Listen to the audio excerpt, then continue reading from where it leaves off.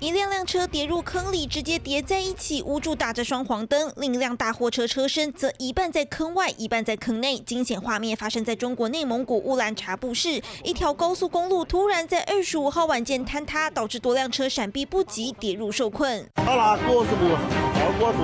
事发后，当地交警、消防等多部门到场处置。路面塌陷后，有四辆车坠落，包含一辆货车。目前路面塌陷原因等正在调查中。二十六日发布交通警情通告称，道路不具备安全通行条件。